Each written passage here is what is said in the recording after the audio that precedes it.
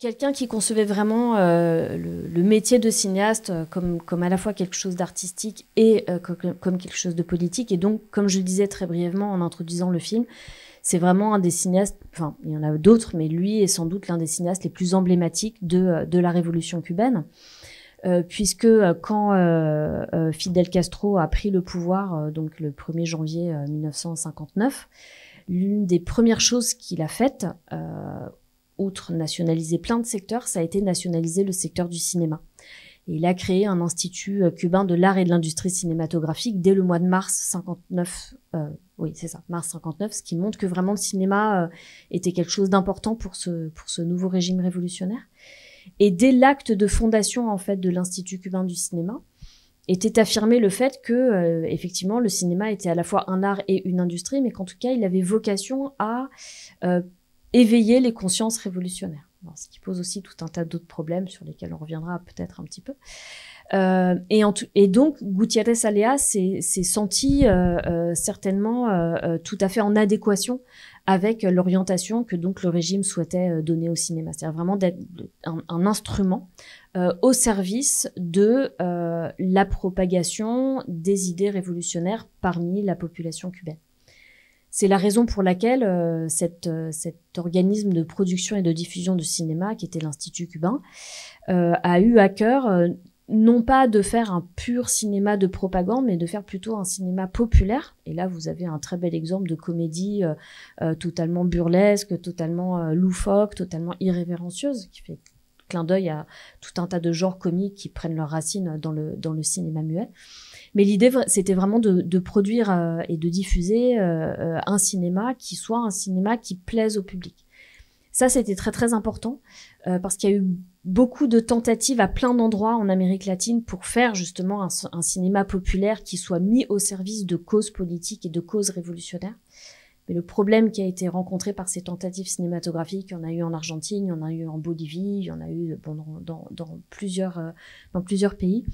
Et souvent l'écueil, c'est que c'était un cinéma qui était fait euh, dans le meilleur des cas dans le dos des institutions officielles, voire carrément dans des contextes de clandestinité. Donc souvent un cinéma euh, qui était difficile d'accès pour le public, non seulement du fait du contexte, mais aussi du fait de la forme de ces films qui étaient pour certains vraiment très euh, militants, euh, très euh, très abstraits et, voilà très difficile à appréhender pour le public. Donc à Cuba, évidemment, la situation est juste l'inverse, c'est-à-dire que là, on a un État qui comprend tout de suite à quel point le cinéma peut être un instrument pour la cause révolutionnaire et qui donc décide plutôt que de faire un cinéma compliqué, de propagande politique, etc., de faire un cinéma drôle, amusant, euh, que le public ait envie de voir. Voilà. Donc je crois que c'est aussi euh, comme ça qu'on peut euh, qu'on peut contextualiser le, le, film que vous que vous venez de regarder. voilà. Donc avec l'idée que on va s'emparer de, de, problématiques qui sont propres au contexte cubain euh, mais leur donner un traitement euh, qui fasse que euh, voilà on puisse traiter de, de, de là en l'occurrence de, de, la problématique de la bureaucratie tout en faisant un film qui va être voilà amusant et qui va être le cas échéant séduisant pour pour le public. C'est un film qui a très très bien marché hein, qui a fait énormément énormément d'entrées euh, et qui a été voilà un film extrêmement populaire à Cuba et je pense qu'on comprend très très bien pourquoi. Euh, il y a un côté très jubilatoire aussi dans cette mise à mort euh, de, la bureaucratie, euh, enfin là, tout, tout au long du film, qui, sans aucun doute parlait énormément au public cubain de l'époque. Hein, il faut rappeler qu'on est quand même dans le contexte d'un État qui a nationalisé euh, euh, pratiquement toute l'économie et donc le, le, secteur administratif a pris une ampleur tout à fait considérable dans cette dans cette Cuba révolutionnaire où il y a à peu près un formulaire pour tout. Euh, et, par conséquent, évidemment, le fait que le public puisse voir un film qui s'acharne à, attaquer de toutes parts et à, mettre à mort cette bureaucratie était sans doute, euh, il y avait sans doute un petit côté cathartique, euh, le, le, côté, bah, on voit ça au cinéma. Donc, c'est ce que dit Gutiérrez Alea d'ailleurs, que l'une des raisons pour lesquelles il a fait ce film, ça vient d'une anecdote personnelle, une situation qu'il a lui-même rencontrée d'absurdité bureaucratique, et il a dit que ce, ce film l'avait un petit peu libéré de, de, ce contexte qui était par ailleurs euh, voilà, extrêmement, euh, extrêmement pesant. je ne sais pas si vous avez des questions. Comment agissait le régime de, Castro à cet Alors, il y, a, y a, deux choses, il y a deux choses qui sont intéressantes par rapport à ce film-là en particulier. Euh, c'est vrai que quand on le regarde comme ça, on se dit, euh, bah, il y va quand même un petit peu fort. Enfin, il va vraiment pas de main morte et il tape euh, bien dur sur sur la bureaucratie cubaine, ce qui est vrai. mais il faut bien voir aussi que le film est fait et diffusé en 1966. Donc ça fait déjà sept ans que le régime est en place. Donc ça fait sept ans que cette bureaucratie a proliféré de façon presque incontrôlée au bout d'un moment. Euh, donc le, poulpe, c'est pas que l'impérialisme, c'est aussi la bureaucratie euh, euh, qui a un petit peu envahi tous les secteurs de la vie quotidienne, donc à Cuba. Et donc le régime lui-même a, eu conscience que là, il allait peut-être falloir un peu commencer à limiter, à, limiter le, voilà, les effets délétères de cette bureaucratie à tel point que en 1965, donc un an avant que le film sorte, Fidel Castro a prononcé plusieurs discours euh, disant que bon là, vraiment la, bureaucratie devenait un vrai problème. Et il y a eu toute cette campagne qu'on voit dans le film, où on crée des affiches de mort à la bureaucratie, etc. En fait, se font l'écho d'une campagne qui a vraiment eu lieu une année avant donc impulsée par le régime lui-même. Donc ça, je pense que c'est important de le savoir aussi, parce que l'une des particularités de Gutiérrez Alea, c'est que euh, donc pour lui, être un cinéaste de la Révolution, ça voulait dire être un cinéaste qui soit capable de critiquer la Révolution, non pas pour dire que la Révolution était mauvaise en soi, je, l'ai dit tout à l'heure, il y a adhéré euh, sans réserve du début et pratiquement jusqu'à la fin, euh, mais critiquer la Révolution parce que dans la dynamique révolutionnaire, critiquer la révolution, c'est aider la révolution à s'améliorer. Il y a un mot qu'on entend à plusieurs reprises dans le film, c'est le mot dialectique, qui était très très cher à, à Gutiérrez Alea. Donc il ne faut pas se méprendre sur à la fois les intentions du cinéaste et la façon dont, le film peut, peut être reçu dans le contexte dans lequel il a été fait. C'est-à-dire que Gutiérrez Alea n'a jamais été euh, un cinéaste opposant de l'intérieur à la révolution, pas du tout.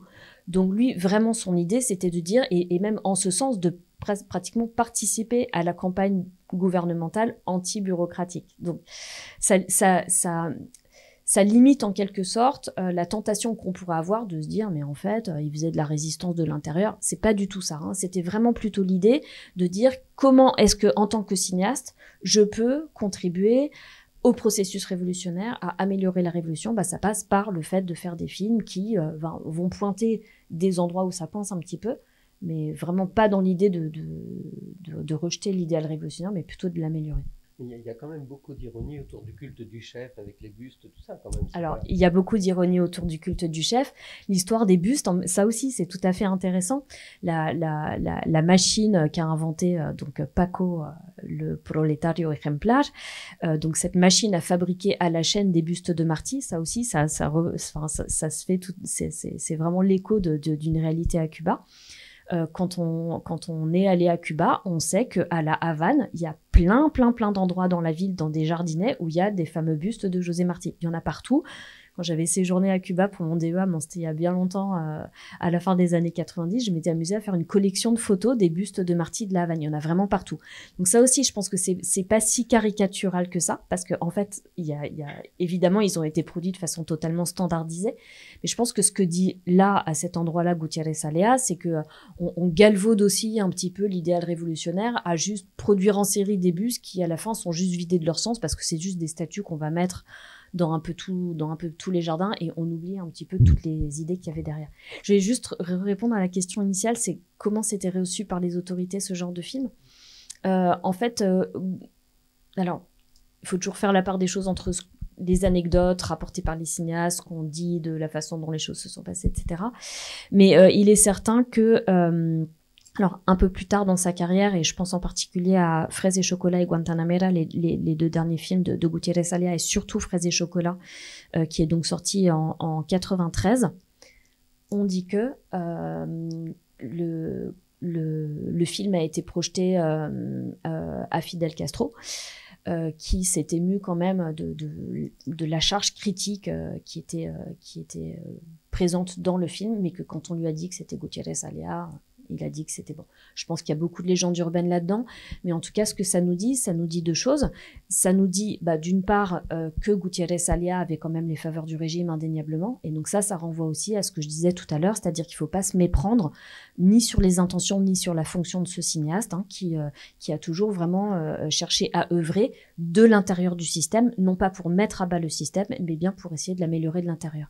Il y a eu toute une question sur la mort d'un bureaucrate, parce qu'il a eu beaucoup de succès à Cuba et, on comprend très bien effectivement comment ça rentrait en résonance avec des préoccupations propres aux Cubains euh, euh, du milieu des années 60. Et à un moment, s'est posé la question euh, d'une sortie internationale du film et notamment d'une sortie aux États-Unis. Ça a été discuté, le film est sorti aux États-Unis et évidemment, une grande partie de la critique états-unienne a utilisé ce film pour, enfin, justement, en faire euh, un, discours exemplaire d'anti-castrisme et d'anti-révolution, ce qui n'était évidemment pas du tout, du tout euh, l'intention du, du, cinéaste. Ça, c'est important de, de, bien le, le mesurer, je pense. Il n'a pas fait que des, que des comédies, Il n'a pas fait que des comédies. Il a fait, il a, c'est un cinéaste qui, euh, qui s'est promené sur pas mal de, pas mal de genres cinématographiques. Il a fait des films plus réalistes. Il a fait aussi des documentaires. Il a fait un film historique, La Ultima Cena, que par chance euh, Tamasa ressort aussi euh, bientôt.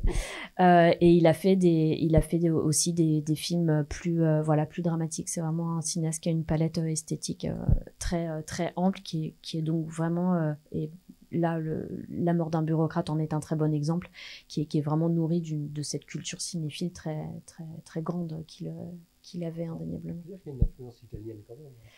Il y a une influence italienne, il y a une influence espagnole, il y a une influence française. Je, voyais Jacques Tati, là, quand, quand, quand le seigneur Ramos rentre chez lui avec la porte du garage qui se referme d'un seul coup. Euh, je, revoyais Jacques Tati.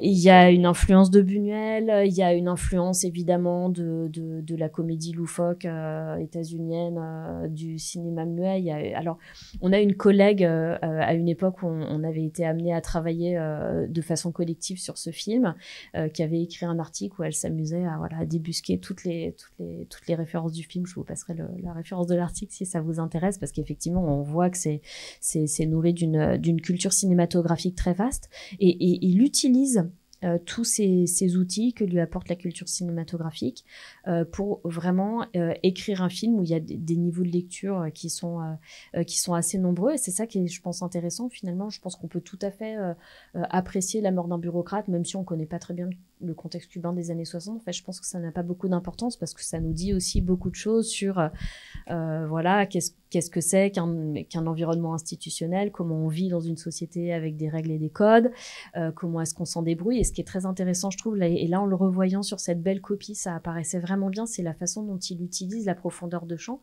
pour souvent nous montrer deux scènes en même temps. Alors soit il le fait avec des visées comiques, soit il le fait avec des visées plus, plus dramatiques et de suspense. Mais, euh, mais oui, oui, c'est vraiment un film dont, euh, dont, l'esthétique est, clairement euh, nourrie d'une multitude de, références. Il y a le néoréalisme aussi, il y a... C'est quand même un peu une incitation au meurtre libérateur, non? C'est un peu une incitation au meurtre libérateur. Là, je trouve que je trouve que c'est là qu'il est. là, c'est vraiment très Buñuel. Je trouve, enfin vraiment euh, indéniablement. Euh. Alors cette fin, en même temps, elle est, un petit peu en demi-teinte aussi. On va enterrer euh, presque le bureaucrate en chef, que cet odieux responsable responsable du cimetière, qui en même temps c'est en même temps l'enterrement du bureaucrate, c'est en même temps aussi un peu l'enterrement de tout ce qui est les résurgences d'un ancien monde pré-révolutionnaire ou voilà euh, oui, euh, dans, dans, la société cubaine, hein, quand il parle du cimetière, c'est son cimetière, donc c'est lui qui décide qui entre ou pas dans son cimetière. Euh, et aussi, on, voit la pompe avec laquelle est organisé son enterrement, donc cette espèce de, carrosse où on voit passer les chevaux comme un train, on a l'impression que ça va jamais s'arrêter, ces appairages de chevaux, comme la machine à écrire du début, effectivement. Bon, ce qui nous, ce qui nous dit, c'est qu'on enterre le chef, mais euh, voilà, l'hydre a mille têtes et, euh, et, on n'a pas enterré euh, tout, le, tout le système loin de là. C'est en ce sens aussi qu'il que, qu'il s'intègre quand même vraiment bien à cette, cette campagne de cette campagne officielle de lutte contre la bureaucratie qui vise un peu à montrer euh, voilà tous les excès, tous les ridicules. Il y a aussi euh, bah, évidemment tout un toute une lecture du film qui, qui nous amènerait à regarder euh, comment il met en évidence le, le, fait que la société cubaine a beau être révolutionnaire, c'est toujours une société qui est très pétrie de machisme qu'à voir la façon dont les corps féminins sont traités et regardés par les hommes euh, dans ce film, ou euh, ce Monsieur Ramos qui est vraiment le, personnage emblématique de, de, de, de, ce type de résurgence. Donc c'est aussi un film sur les, les résurgences de la Cuba d'avant, euh, dans, dans, dans, la Cuba révolutionnée, mais, mais, mais pas complètement. Hein, quand il voilà le, le corps de l'homme, la gymnastique, la musculature, etc. C'est aussi voilà dans les dans les discours c'est censé être le monde d'avant et puis dans les faits on voit que le, le monde d'avant il est, encore, euh, bien là. Alors évidemment, le, parallèle Cuba-URSS, euh, vous, vous, faites, vous faites bien de, le, de, l'introduire, c'est quelque chose de tout à fait important.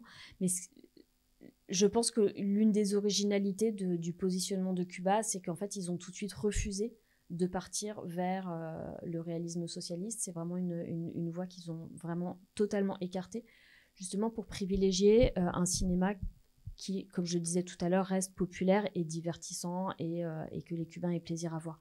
Pour ce qui est des infrastructures, vous posez une très très bonne question. Euh, euh, en fait, l'Institut cubain de l'art et de l'industrie cinématographique, cet ICAI, qui a été créé en, mars 1959, il a nationalisé le préexistant.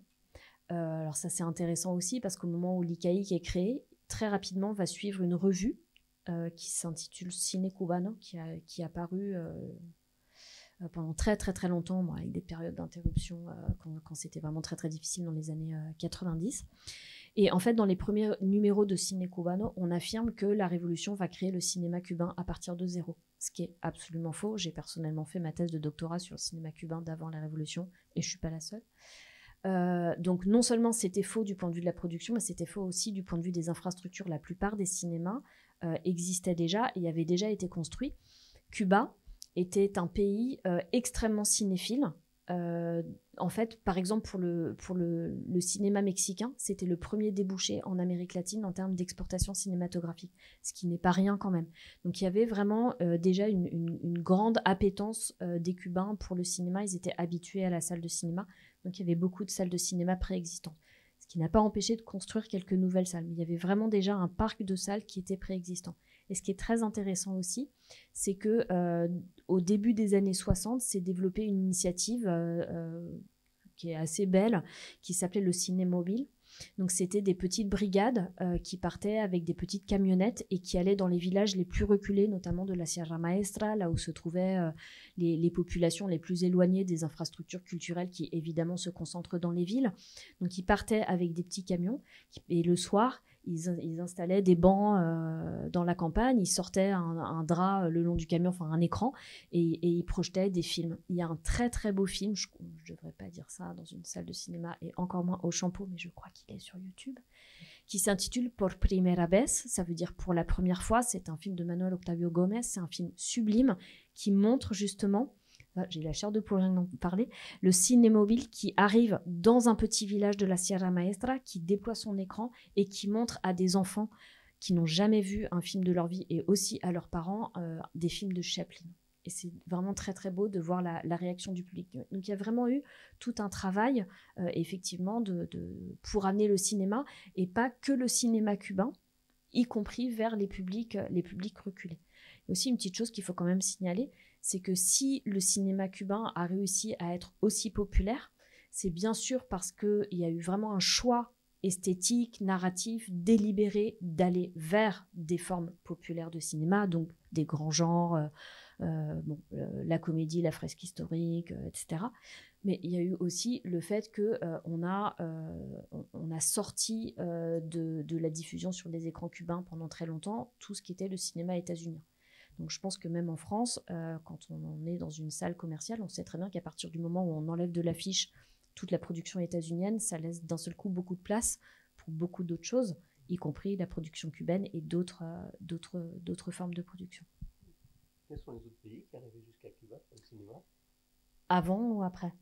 Alors, après, euh, ben, après, en fait, il y avait beaucoup de choses qui arrivaient. Il y a eu évidemment beaucoup de cinéma des pays amis euh, du giron, euh, du giron soviétique, ce qui a permis aux Cubains voilà, de voir tout un tas de films tchèques, russes, etc. il y a eu beaucoup de cinéma européen, des Français, les Anglais, les Espagnols. Il y a eu aussi toute une, toute une génération et un certain nombre de cinéastes, notamment, notamment je pense à Chris Marker, Agnès Varda, etc., qui, sont, qui ont visité euh, euh, Cuba euh, donc au début des années 60. Donc c'est sûr qu'il il y a eu un gros appel d'air pour d'autres formes de cinéma à partir du moment où on a un peu éjecté les États-Unis de, de, de l'affiche dans, dans, les salles, ce qui fait qu'effectivement, il y a quand même une plusieurs générations de Cubains qui avaient une culture cinématographique euh, euh, à la fois considérable et, euh, et, originale. Mais juste pour revenir un petit mot sur le, cet évitement et ce, choix délibéré de ne pas aller vers le réalisme socialiste, en fait, comme il y avait un côté très réflexif quand même chez ces cinéastes, donc je vous disais, Gutiérrez Salé en particulier a écrit un essai qui s'intitule La dialectique du spectateur, il n'est pas le seul c'est un peu comme, euh, comme notre nouvelle vague ici. Hein. La plupart des, cinéastes étaient en même temps critiques de cinéma et réfléchissaient beaucoup sur qu'est-ce que ça voulait dire être un artiste de cinéma. Et eux, en particulier, c'était articulé à qu'est-ce que c'est qu'être un artiste de cinéma dans une société révolutionnaire. Euh, et, donc, euh, ils se sont dit, ben, on veut, on veut plus imiter le cinéma hollywoodien, ce qui est ce que, qu'avait fait le cinéma révolutionnaire de façon un peu pataude, il faut bien le dire. Donc on veut plus essayer d'imiter Hollywood parce qu'on n'est pas Hollywood, ça sert à rien de faire semblant. On veut pas non plus imiter euh, la nouvelle vague française parce qu'on n'est pas des intellos bourgeois du quartier latin, donc ça c'est pas nous non plus. Et on veut pas non plus faire du réalisme socialiste parce qu'on trouve que ça va pas du tout ce modèle. Donc en fait ils ont essayé non pas d'inventer une autre voie, ça c'est ce qu'ont essayé de faire d'autres cinéastes en Amérique latine avec des résultats plus mitigés. Ils ont plutôt essayé d'aller piocher un petit peu partout euh, pour essayer de, créer ce cinéma qu'ils avaient envie de faire. Et par rapport au réalisme socialiste, euh, il y a un film qui a, donc été tourné à Cuba par Mikhail Kalatozov, qui est Soy Cuba, qui est un film euh, esthétiquement absolument somptueux, qui est ressorti grâce aux, efforts de restauration de Scorsese, je crois, il, y a, quelques années dans une copie absolument magnifique. Mais Soy Cuba, donc, qui est une sorte d'essai de réalisme socialiste qui passe quand même par plusieurs genres cinématographiques dans le contexte cubain. J'ai une, une, une, collègue donc, plus âgé que moi qui, euh, qui, qui, était à Cuba euh, dans les années 60 et qui me dit que en fait, quand les Cubains voyaient Soy Cuba, ils étaient morts de rire dans les salles. Parce que pour eux, ce truc euh, était une sorte d'ovni cinématographique qui ne correspondait pas à ce qui ce qui était en train d'essayer de faire le cinéma cubain. je crois que là, il y a eu aussi une tentative de positionnement qui est intéressante et que la mort d'un bureaucrate reflète bien finalement hein, le, fait de dire, ben voilà, donc si on est cubain, on n'est pas la nouvelle vague française, on n'est pas Hollywood, on n'est pas non plus le réalisme socialiste, mais comme on réfléchit beaucoup, qu'on a vu beaucoup de films, bah, on essaye de prendre le mieux de partout pour créer les récits qu'on a envie de faire et qu'on a envie de montrer. Question peut-être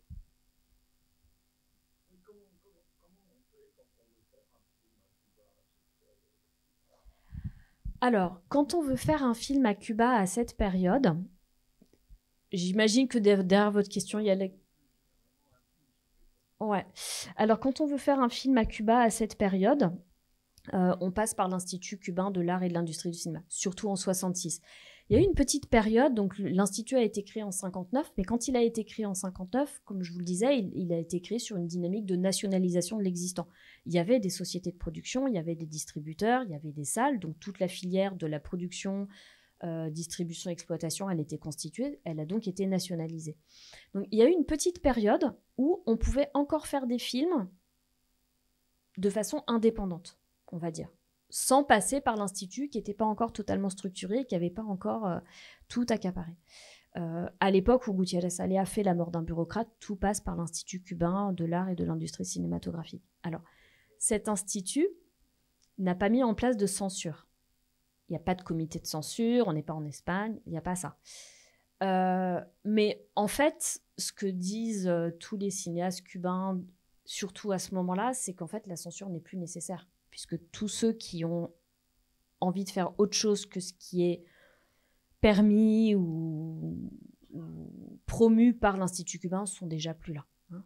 Euh,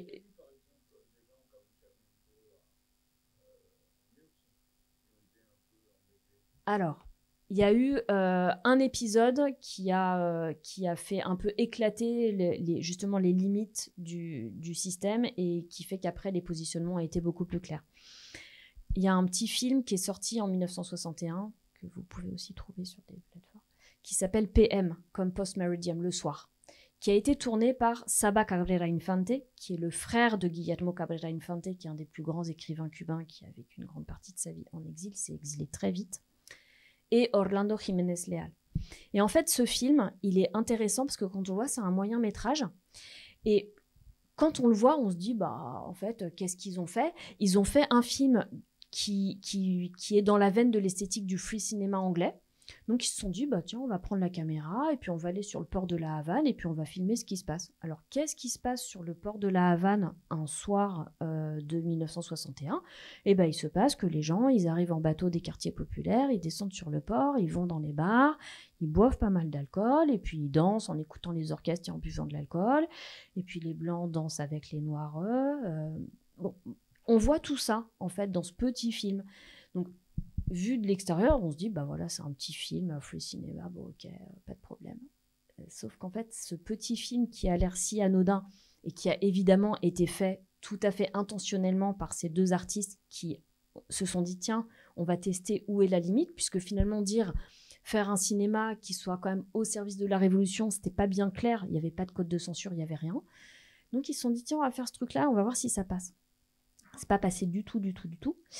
Euh, pourquoi? C'est pas passé du tout parce qu'en 1961, euh, on est entre euh, la tentative d'invasion de la baie des cochons et la crise des missiles de 62. C'est-à-dire qu'on est vraiment dans un moment où la, révolution, le régime et le processus révolutionnaire se sentent en état de siège, euh, se sentent extrêmement menacés, et là pour le coup vraiment euh, objectivement tout à fait à juste titre. Et donc le discours officiel, c'est vraiment de concentrer tous les efforts du pays dans la résistance à l'invasion, hein, la baie des cochons, et vraiment cette menace états-unienne qui, plane hyper fort quand même sur, sur Cuba à ce moment-là. Hein.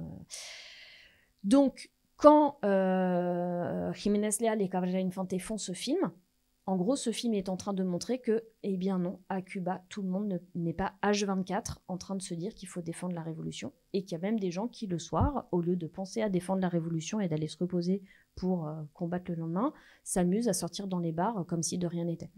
Donc, en fait, ce film euh, a engendré une polémique monstrueuse. Il a évidemment été interdit tout de suite.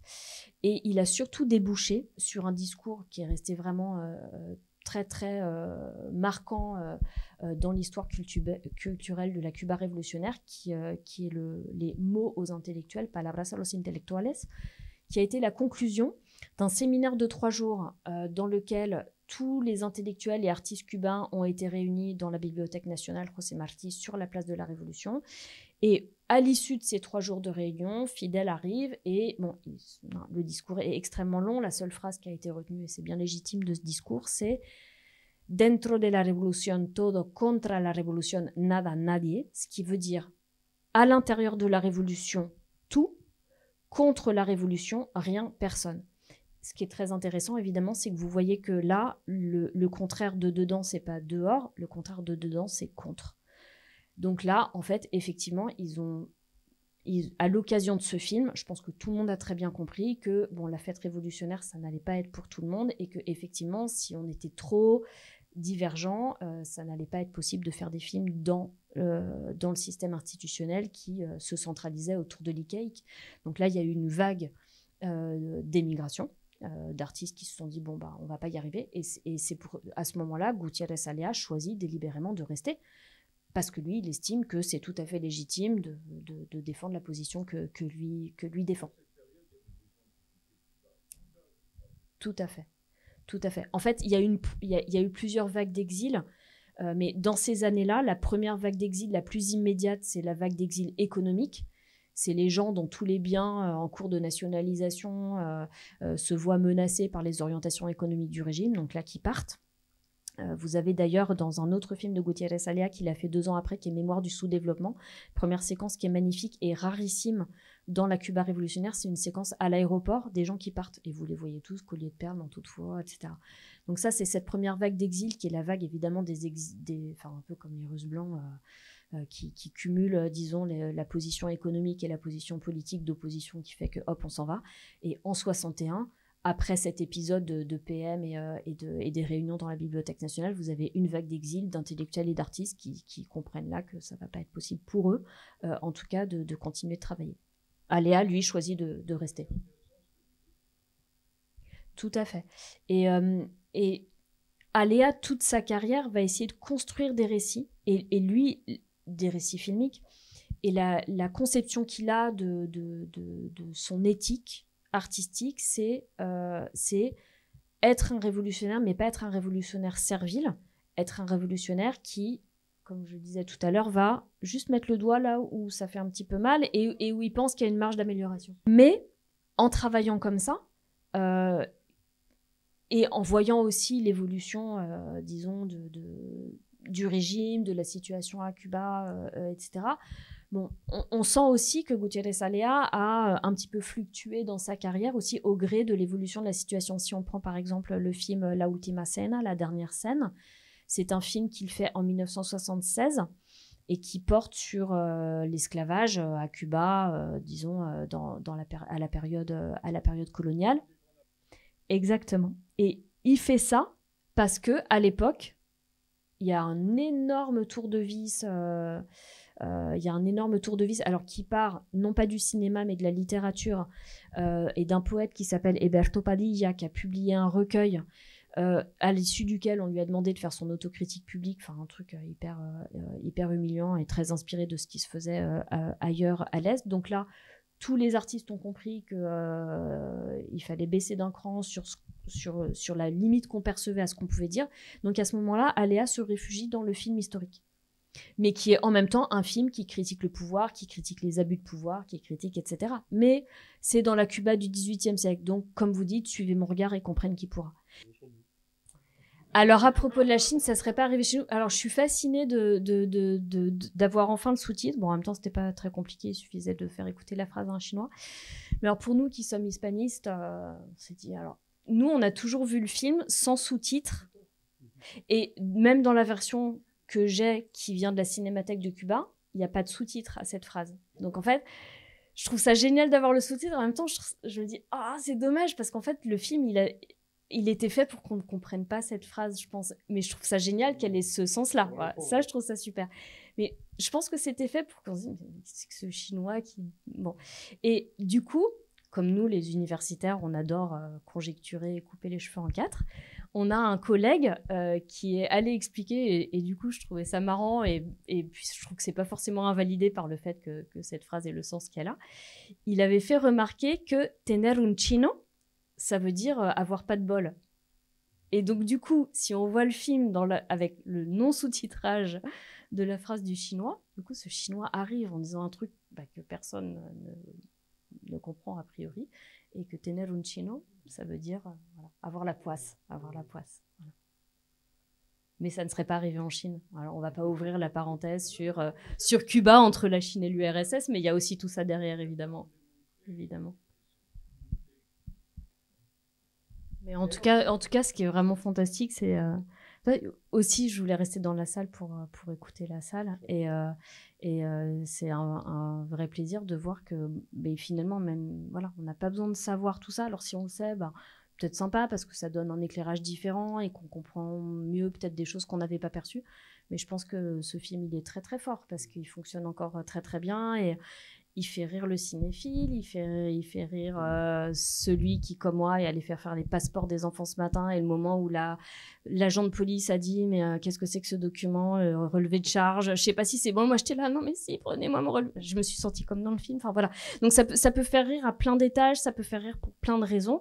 Et moi ce qui me fait plaisir c'est que ça nous fasse toujours rire voilà aujourd'hui et, que et que ça nous parle beaucoup et ben étonnamment, ce comédien qui est quand même assez, euh, assez exceptionnel n'est pas devenu non plus euh, la superstar euh, du, cinéma cubain après.